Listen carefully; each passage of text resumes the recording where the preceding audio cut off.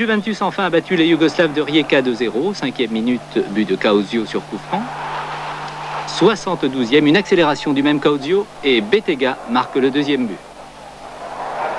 Valence, Arsenal, Juventus et Nantes qualifiés pour les demi-finales.